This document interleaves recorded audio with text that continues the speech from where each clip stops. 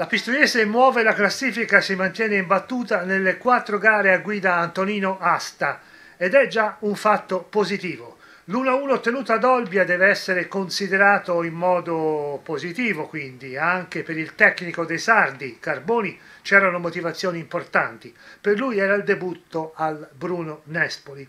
Si sono affrontate due squadre che al momento vantano. l'Olbia un pericoloso attacco, l'altra, la Pistoiese, un ritrovato equilibrio difensivo, tant'è vero che il gol del pareggio ottenuto al 34 della ripresa dall'aitante colombiano Ceter è il primo subito dagli arancioni da quando hanno cambiato allenatore.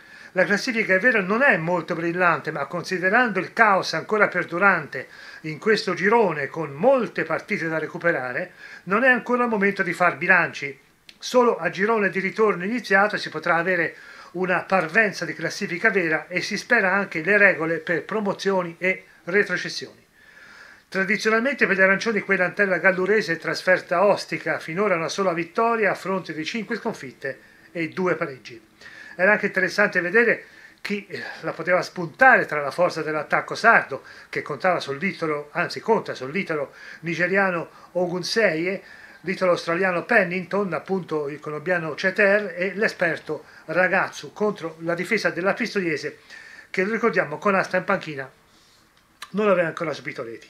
Si poteva prevedere una gara attenta difensiva con tentativi di contropiede per la Pistoiese che è scesa in campo al Bruno Nespoli di Olbia con Meli, El Caucabi, Ceccarelli, Dossena, Terigi, Cagnano, Vitiello, Luperini, Picchi, Fanucchi e Latte Lat. Carboni impiega Ragazzo sulla sinistra a sostegno del duo di attacco Ceter Ognuseie. Asta tiene ancora in panchina un Rovini non ancora al 100% fisicamente, anche Muscate che con la propria nazionale maltese aveva giocato due partite in pochi giorni. Difesa 5 per gli arancioni, padroni di casa in maglia bianca. Rimi, primi 5 minuti di gara con padroni di casa in attacco, ma ottengono solo un paio di angoli. Al quinto primo assaggio della Pistoiese che agisce di rimessa, da El Caucabi a Luperini, il cui tiro sul volo alla traversa, un tiro effettuato con scarsa convinzione ed era una buona opportunità. All'undicesimo punizione per la Pistoiese quasi al limite va al tiro Fanucchi con palla deviata in angolo. Prima vera occasione a rete per l'Olbia quattordicesimo con un colpo di testa di Ogunsei col palla che esce di un nulla dallo specchio della porta alla destra di un Meli che sarebbe stato impossibilitato a intervenire. Ancora Olvi al tiro con Ragazzu, ma Meli respinge al centro dei pali. Fase centrale del tempo molto combattuta, ma con scarse conclusioni. Colpo di testa di Cetera al 32esimo servito da Calamai, ma la palla va sul fondo. Questa volta è Picchi della Pistoiese che va al tiro, ma Marzon non ha problemi due minuti dopo. Risponde ancora il portiere Meri della Pistoiese su botta di Cotali, servito da Ragazzu. Primo giallo della partita a carico di Picchi della Pistoiese in chiusura di tempo. A riposo quindi sullo 0-0 Inizio gara di marca gallurese per qualche risposta arancione e controllo della partita.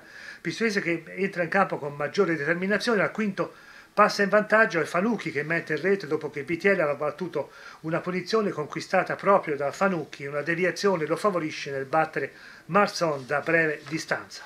Carboni procede a cambiare Pennington con Muroni, bella parata all'angolo di Medi su botte da fuori di Vallocchio al dodicesimo, poi due gialli a carico degli arancioni al quattordicesimo, prima Ella Caocavi, poi Ceccarelli.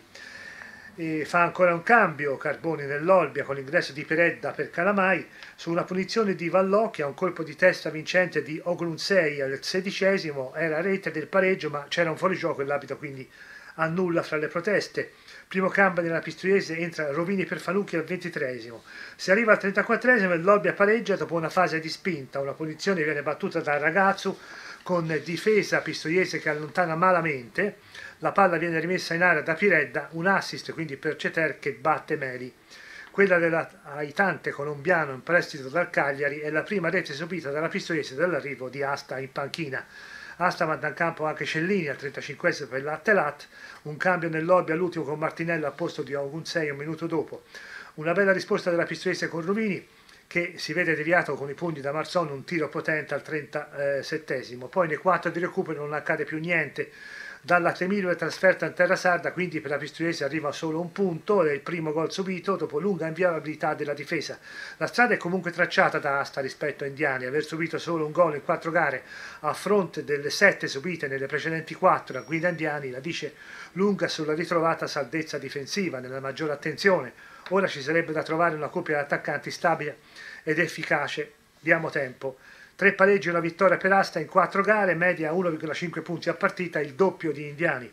Prossimo appuntamento al Melani, domenica alle 18.30 contro la Juventus Under 23, che arriverà a Pistoia con una sfilza di 5 sconfitte consecutive e con il tecnico Zironelli in bilico, se non all'ultima spiaggia.